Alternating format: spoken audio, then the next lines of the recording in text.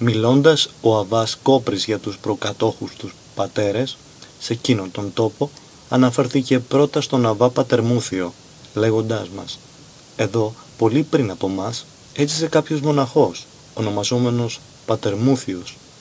Αυτός ήταν πρώτος που κατοίκησε σε αυτόν τον τόπο και ο πρώτος που χρησιμοποίησε το μοναχικό ένδυμα που φορούσε. Πριν έρθει εδώ, υπήρξε μέγας αρχιλιστής, μετά νεκροθάφτης των ειδωλολατρών και την Βορύχος και διαβόητος για την κακία του. Αλλά να η αφορμή για να βρει την οδό της σωτηρίας του. Κάποια νύχτα πήρε την απόφαση να ληστέψει το ερημητήριο μιας μοναχής. Με έναν παράδοξο τρόπο βρέθηκε ξάφνου πάνω στη στέγη. Δεν έβρισκε όμως τρόπο ούτε στην αποθήκη να μπει ούτε και να κάνει πίσω. Και έτσι έμεινε εκεί. Πάνω ίσα με τα χαράματα, σκεφτόμενος τι να κάνει.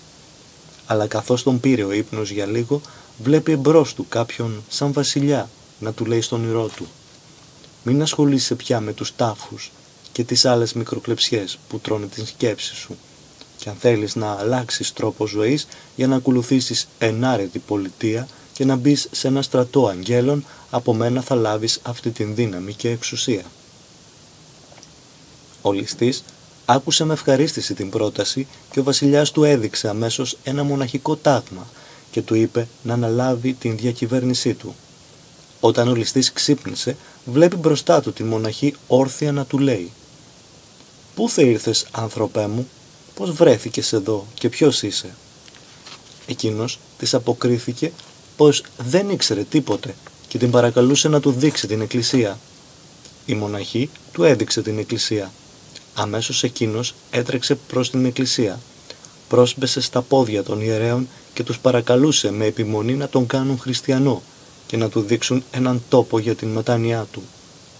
Οι ιερείς τον ανεγνώρισαν και θαύμασαν για τη μεταστροφή του. Άρχισαν λοιπόν να τον νουθετούν και να τον διδάσκουν και να μην κάνει πλέον πια φόνους.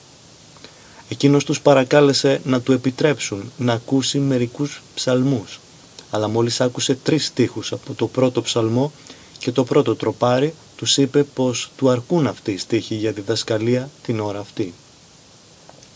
Μόλις και μεταβίας έμεινε τρεις μέρες κοντά τους και ευθύς μετά όρμησε τρέχοντας προς την έρημο. Εκεί έζησε τρία χρόνια ερημικής ζωής, περνώντας τις μέρες του με προσευχές και δάκρυα μετανοίας και έχοντας για τροφή του άγρια χόρτα μόνο. Μετά από τα τρία χρόνια επανήλθε στην εκκλησία και στους αδελφούς, απαγγέλλοντας στην πράξη όσα έμαθε στην έρημο, γιατί έλαβε άνωθεν παρά Θεού όπως τους είπε το χάρισμα να αποστηθίζει και να αναγνωρίζει απ' έξω τα κείμενα της Αγίας Γραφής. Για άλλη μια φορά οι μοναχοί εθαύμασαν για το γεγονός και κυρίως για την τόσο αυστηρή άσκηση με την οποία έζησε. Τον βάπτισαν λοιπόν και τον παρακάλεσαν να ασκητέψει κοντά τους. Εκείνος τους άκουσε και έμεινε μαζί τους, αλλά ύστερα από 7 μέρες έφυγε πάλι για την έρημο. Εκεί προχώρησε στην εσωτέρα έρημο, όπου ασκήτευσε αυστηρά επί 7 χρόνια και αξιώθηκε να λάβει άνωθεν πολλά χαρίσματα. Ο ευλογημένος αυτός ερημίτης άνωθεν λάβαινε και την τροφή του. Κάθε Κυριακή μονάχα έβρισκε στο προσκεφάλι του ένα ψωμί, έκανε την προσευχή του, έτρωγε και αυτό τον κρατούσε ως την επόμενη Κυριακή. Ύστερα από τα 7 χρόνια επέστρεψε πάλι από την έρημο, έχοντας τα σημάδια της αυστηρής ασκητικής ζωής του, η οποία σαν να μαγνήτιζε και άλλους μοναχούς να πάνε κοντά του και να ακολουθήσουν την πολιτεία του. Ήρθε λοιπόν κοντά του ένας νέος, θέλοντας να γίνει μαθητής του. Ο Αβάς τον έντισε με ένα μοναχικό κολόβιο. Του έβαλε κουκούλιο στο κεφάλι και άρχισε να του διδάσκει την ασκητική ζωή, ρίχνοντάς του το μοναχικό ράσο στους ώμους και ζώνοντάς τον με ποδιά. Και όταν κάποιος από τους χριστιανούς ήταν ετοιμοθάνατος, ο γέροντας αγρυπνούσε προσευχόμενος δίπλα του και φρόντιζε για την ευπρεπή κηδεία του. Βλέποντας ο μαθητής με πόση βλάβεια και επιμέλεια κοίδευε τους νεκρούς ο γέροντας, τον ρώτησε. «Διδάσκαλε, θα με κυδέψεις και μένα έτσι όταν πεθάνω» Ο γέροντας του απάντησε «Έτσι ακριβώς θα σε κυδέψω παιδί μου, ώσπου να πεις αρκεί». Δεν πέρασε πολύς καιρός και ο νέος μοναχός πέθανε. Οπότε ο λόγος του γέροντα έγινε έργο. Αφού τον κίδεψε με πάρα πολύ ευλάβεια, τον ρωτάει μπροστά σε όλους όσοι παρευρίσκονταν. «Κυδεύτηκες καλά παιδί μου ή λείπει κάτι ακόμη που πρέπει να κάνω» και τότε ο νέος έβγαλε φωνή, την οποία άκουσαν πολλοί. «Όλα έγιναν καλώς γέροντά μου και τηρήσες την υπόσχεσή σου». Θαυμασμός μεγάλος κυριεύσε όλους τους παρευρισκομένους και δόξασαν για αυτόν τον Θεό. Ο γέροντας όμως για να αποφύγει τη δόξα εκ μέρους των ανθρώπων αναχώρησε πάλι για την έρημο. Κάποτε άφησε πάλι την έρημο και κατέβηκε να επισκεφτεί κάποιους μοναχούς που είχαν μαθητεύσει κοντά του και τώρα ήταν άρρωστοι, ο ένας μάλιστα από αυτούς όπου να είναι θα πέθαινε, καθώς το είχε αποκαλύψει ο Θεός στον γέροντα. Ωστόσο το βράδυ πλησίαζε και το χωριό ήταν ακόμα μακριά. Μη θέλοντας να μπει νύχτα και σε ακατάλληλη ώρα στο χωριό, αλλά μελετώντας μέσα του και το λόγο του Σωτήρος που μας παραγγέλει να περπατάτε όσο έχετε το φως και όποιος πορεύεται με το φως αυτός δεν θα σκοντάψει. Ιωάννης ΙΒ35 και ΙΑ9 Την ώρα που βασίλευσε ο ήλιος γύρισε προς αυτόν και του είπε «Εν ονόματι του Κυρίου μας Ιησού Χριστού στάσου για λίγο σε αυτό το σημείο της πορείας σου ώσπου να φτάσω και να μπω στο χωριό». Τότε ο ήλιος που είχε σχεδόν μισοβασιλεύσει στάθηκε στο σημείο εκείνο αρκετή ώρα ώσπου να φτάσει ο γέροντας στο χωριό.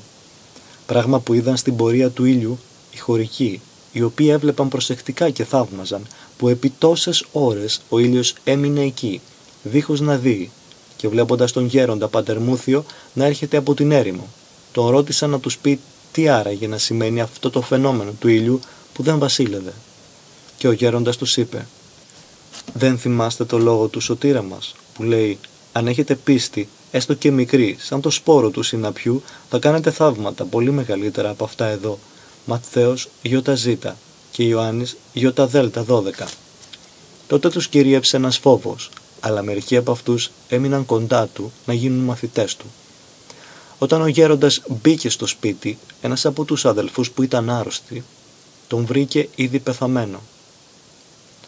Πλησίασε στο κρεβάτι και προσευχήθηκε, ύστερα τον ασπάστηκε και τον ρώτησε αν ήθελε πιο πολύ να πάει προς τον Θεό ή προτιμούσε να ζήσει σωματικά. Εκείνος τότε ανασηκώθηκε στο κρεβάτι του και είπε στον γέροντα «Καλύτερα να πεθάνω και να είμαι κοντά στο Χριστό, διότι το να ζήσω σωματικά δεν μου είναι καθόλου αναγκαίο». Τότε λοιπόν του λέει ο γέροντας «Κοιμήσου εν ειρήνη παιδί μου» και πρέσβευε και για μένα στον Θεό. Και εκείνος έτσι όπως ήταν στο κρεβάτι ξανάπεσε και κοιμήθηκε. Γεμάτη έκπληξη, όλοι όσοι βρίσκονταν εκεί φώναξαν. Πραγματικά, τούτος εδώ είναι άνθρωπος του Θεού. Και ο γέροντας, αφού πέρασε όλη τη νύχτα κοντά στον νεκρό, ψάλλοντας ύμνους, τον κίδεψε με βλάβια μεγάλη. Ο γέροντας επισκέφτηκε μετά κάποιον άλλο αδερφό άρρωστο και καθώς τον είδε να δείχνει δυσφορία προς τον θάνατο, γιατί του έκαμε φοβερόν έλεγχο η συνείδησή του, σκύβει και του λέει οι λογισμοί σου είναι οι κατήγοροι για την αμελή και ράθιμη πολιτεία σου και πας προς τον Θεό, πολύ ανέτοιμος. Ο άρρωστος τον παρακαλούσε και τον νικέτευε να πρεσβεύει και να ζητήσει από τον Θεό να τον αφήσει να ζήσει ακόμα λίγο καιρό για να μπορέσει να διορθωθεί. Και τότε ο γέροντας το αποκρίθηκε. Τώρα ζητάς καιρό για μετάνοια που είχε συμπληρωθεί ο κύκλος της ζωής. Τι έκαμες όλα αυτά τα χρόνια του βίου σου; Δεν μπορούσες τότε να γιατρέψεις τις πληγές, παρά πρόσθετες κι άλλες. Αλλά στο τέλος ο γέροντας, καθώς τον είδε να επιμένει, οικετεύοντας, του λέει «Αν δεν προσθέσεις κι άλλες αμαρτίες στην ζωή σου και αν αληθινά μετανόησες, θα παρακαλέσουμε τον Χριστό για σένα, να σε λυπηθεί, γιατί καθώς είναι αγαθός και μακρόθυμος, θα σου χαρίσει λίγον καιρό ακόμη να ζήσεις, για να εξοφλήσεις όλα τα χρέη σου» και αφού προσευχήθηκε ο γέροντας του είπε «Ιδού που ο Θεός σου χάρισε άλλα τρία χρόνια σε τούτη την ζωή. Προσπάθησε μονάχα να μετανοήσεις βαθιά με την ψυχή σου». Και παίρνοντάς τον από το χέρι αμέσως, τον σήκωσε από το κρεβάτι και τον πήγε στην έρημο. Και όταν συμπληρώθηκαν τα τρία χρόνια, τον πήρε πάλι και τον πήγε στο ίδιο μέρος. Τώρα όμως δεν πήγαινε έναν άνθρωπο, μα έναν άγγελο που στέκεται κοντά στο Χριστό και βλέποντάς τον, όλοι έδειξαν την έκπληξη και το θαυμασμό τους για την δύναμη του γέροντα. Ανάμεσα σε όλους τους αδερφούς που είχαν μαζευτεί, ο γέροντας έβαλε στη μέση και τον άλλοτε άρρωστο αδερφό, που τώρα ήταν υγιέστατος και όλη τη νύχτα τους συμβούλευε και τους δίδασκε.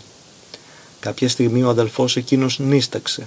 Τον πήρε λοιπόν ο ύπνος, έγειρε και αναπαύθηκε για πάντα. Ο γέροντας προσευχήθηκε και τίμασε με βλάβια την κηδεία και την ταφή του.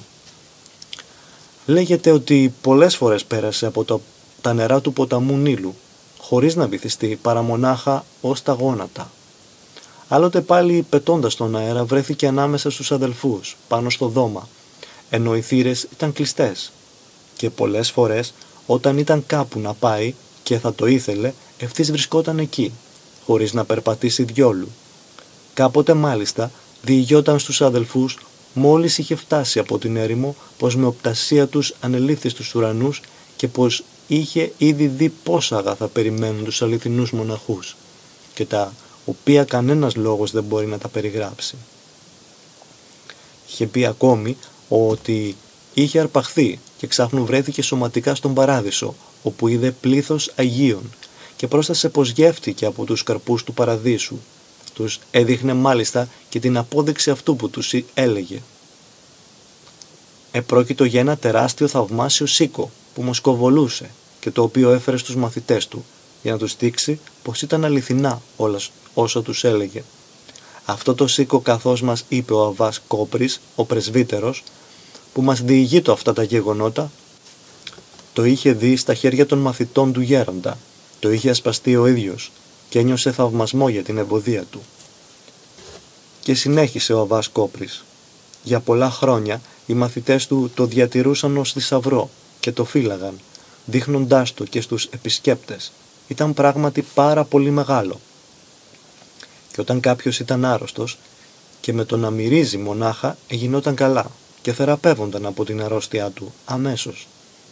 Λέγεται ακόμη πως στην αρχή του αναχωρητικού βίου του, όταν είχε βγει στην έρημο και επί πέντε εβδομάδες δεν είχε βάλει τίποτα στο στόμα του. Συνάντησε εκεί στην ερημιά έναν άνθρωπο που κουβαλούσε μαζί του ψωμί και νερό. Αυτός λοιπόν ο άνθρωπος μόλις έδωκε στον αναχωρητή ψωμί και νερό έγινε άφαντος. Άλλοτε πάλι του παρουσιάστηκε ο δαίμονας για να του φανερώσει τα θησαυροφυλάκια του Φαραώ που ήταν γεμάτα από καθαρό χρυσάφι, μα ο γέροντας του πέταξε κατάμουτρα. «Να χαθείς από μπροστά μου και εσύ και τα χρήματά σου». Και συνέχισε ο Αβάς Κόπρης.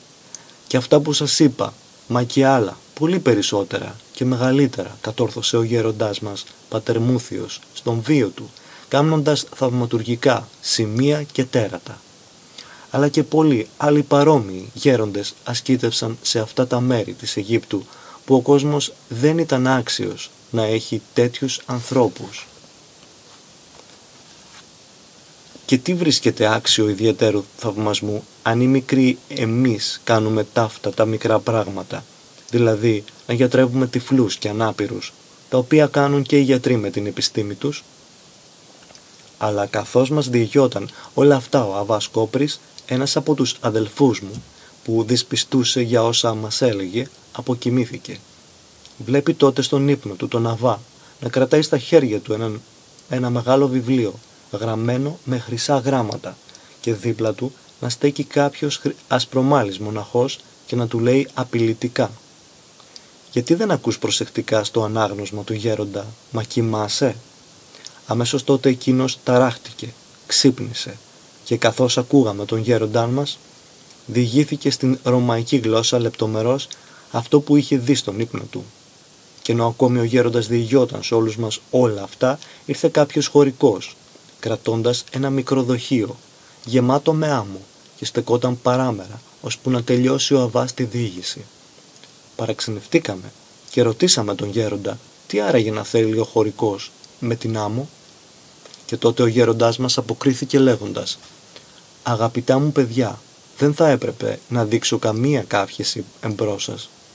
ούτε να εξιστορήσω των Αγίων Πατέρων τα κατορθώματα, για να μην ψηλώσει ο νους μας και χάσουμε τον πνευματικό μισθό μας. Ωστόσο, μια που δείξατε τόση προθυμία για την πνευματική σας προκοπή και αφού ήρθατε από τόσο μακριά εδώ σε μας, δεν θα σας στερήσω ούτε και αυτή την ωφέλεια που περιμένετε, μα θα σας διηγηθώ εμπρός στους αδελφούς. Όλα όσα επέτρεψε η οικονομία του Θεού να γίνουν, με όργανα του εμάς τους ανάξιους. Η περιοχή που βρίσκεται κοντά στο μοναστήρι μας ήταν άγωνη και οι χωρικοί διοκτήτες των χωραφιών όταν έσπερναν σιτάρι, μόλις και με τα βίας έφταναν να θερίζουν το διπλάσιο από όσο παίρνανε. Και τούτο γιατί ένα σκουλίκι έτρωγε το στάχι και κατέστρεφε σχεδόν όλη την σοδιά τους. Οι γεωργοί της περιοχής, οι οποίοι είχαν ήδη κατηχηθεί από εμάς και είχαν γίνει χριστιανοί, ήρθαν και μας παρακαλούσαν, πολύ επίμονα, να προσευχηθούμε για την καλή συγκομιδή. Και εγώ τους είπα, αν έχετε πίστη στο Θεό και τούτη εδώ ακόμα η άμμος της ερήμου θα σας δώσει καρπό. Εκείνοι τότε, δίχως να αναβάλουν για αργότερα το πράγμα, γέμισαν τον κόρφο τους από τούτη εδώ την άμμο, που πατούμε και ήρθαν επιμένοντας να τους ευλογήσω. Εγώ τους ευλόγησα και προσευχήθηκα να γίνουν κατά την πίστη τους. Εκείνοι πήγαν και έσπηραν την ευλογημένη άμμο, μαζί με το σιτάρι στα χωράφια τους, και η χώρα όλη έγινε ξάφνου η πιο γόμνημη σε όλη την Αίγυπτο. Με βάση αυτή τη συνήθεια λοιπόν έρχονται κάθε χρόνο ζητώντας να τους ευλογήσω. Και συνεχίζοντας μας είπε «Ο Θεός μου έδωκε μπροστά σε πολύ κόσμο ένα μεγάλο θαύμα. Είχα κατέβει κάποτε στην πόλη και εκεί βρήκα έναν ερετικό που ήταν μανιχαίος και ο οποίος είχε προσελκύσει και πλανήσει πλήθος λαούς στην αίρεσή του. Όταν είδα πως δεν πείθεται ο ερετικός στην δημόσια συζήτησή μας, στράφηκα προς το συγκεντρωμένο πλήθος του λαού και τους είπα «Πάρτε και ανάψτε μια μεγάλη φωτιά στην πλατεία και να μπούμε στην αναμένη φωτιά και οι δυο μας και όποιος από τους δυο μας μείνει απείραχτος από την φλόγα της φωτιάς αυτός έχει σίγουρα και την ορθή και αληθινή πίστη. Οι άνθρωποι άναψαν με προθυμία την φωτιά και άρχισαν να τον τραβούν να μπει μαζί μου στη φωτιά. Εκείνος φέροντας αντιρρήσεις είπε βλέποντας προς εμένα «Καλύτερα να μπούμε ένας, ένας στη φωτιά και πρώτος να μπεις εσύ που πρόσταξες να γίνει έτσι». Αμέσως εγώ, κάνοντας το σταυρό μου, πήδηξα μέσα στη φωτιά, στο όνομα του Χριστού και τότε οι φλόγες της φωτιάς χωρίστηκαν σε δύο μεριές και δεν με άγγιξαν καθόλου. Αν και έμεινα εκεί μέσα μισή ώρα. Ο κόσμος βλέποντας το θαύμα δεν συγκρατιόταν πια και άρχισαν να φωνάζουν και να αναγκάζουν πάλι τον αρετικό να μπει στη φωτιά. Και ενώ εκείνος από φόβο δεν ήθελε να μπει, τον άρπαξε ο λαός και τον έριξαν με τη βία στη φωτιά. Εκεί, όταν τσουρουφλίστηκε από τις φλόγες και κόντεψε να πεθάνει, τον πήραν και τον απόθεσαν περιφρονητικά έξω από την πόλη, ενώ πολλοί από τους παρόντες φώναξαν. «Κάψτε τον ζωντανό, αυτό τον ερετικό και απατεώνα». Την ίδια στιγμή ο λαός με σήκωσε στα χέρια και με τιμητικές επιθυμίες με πήγαν ως την εκκλησία. Άλλη φορά πάλι, περνώντας από κάποιον ειδωλολατρικό ναό, είδα μερικούς να θυσιάζουν στα είδωλα. Τους πλησίασα και τους είπα αν ακόμη κι εσείς που είστε λογικά όντα θυσιάζετε στα άλογα είδωλα, τότε αποδεικνύετε κι εσείς πως είστε άλογοι και μάλιστα πιο πολύ από αυτά. Και εκείνοι επίστησαν ότι ορθά τους μίλησα και ήρθαν ευθύς κοντά μου και με ακολούθησαν πιστεύοντας στον σωτήρα μας Χριστό. Σε κοντινό χωριό είχα κάποτε μικρό κήπο για τις ανάγκες αδελφών μοναχών που ερχόταν να ζήσουν κοντά μου και είχα βάλει εκεί ένα χωρικό φτωχό για να τον δουλεύει και να τον φυλάγει. Μπήκε λοιπόν εκεί μια μέρα ένας ειδωλολάτρης να κλέψει λαχανικά. Τα έκλεψε και έφυγε όμως. Επί τρεις ώρες προσπαθούσε να τα βράσει και δεν τα κατάφερνε. Τα λαχανικά παρόλη τη φωτιά που έβαζε έμειναν στην κατσαρόλα, όπως ακριβώς ήταν, όταν τα πήρε και αυτό το νερό ακόμη ούτε καν είχε ζεσταθεί. Όταν συνήλθε και συνειδητοποίησε την πράξη του ο κλέφτης, άρπαξε τα λαχανικά και τρέξε αμέσως να τα φέρει σε εμάς, παρακαλώντας μας να συγχωρέσουμε το σφάλμα του και να γίνει και εκείνος χριστιανός. Πράγμα που έγινε βέβαια. Έτυχε μάλιστα εκείνη την ώρα να έχουν έλθει επισκέπτες, αδελφοί, και έτσι τα λαχανικά έπιασαν τόπο. Φάγαμε λοιπόν όλοι από εκείνα τα λαχανικά και ευχαριστηθήκαμε για την διπλή αυτή εφροσύνη. Πρώτα για τη σωτηρία εκείνου του ανθρώπου και ύστερα για την ανάπαυση των αδελφών που προσφέραμε στην τράπεζα. Ήταν ένα απόσπασμα από το βιβλίο «Εξήνθησεν η έρημος». Από θαυμαστές ιστορίες των μεγάλων ασκητών της Αιγύπτου από τους πρώτους αιώνες μετά Χριστόν. Εκδόσεις Αποστολική Διακονία.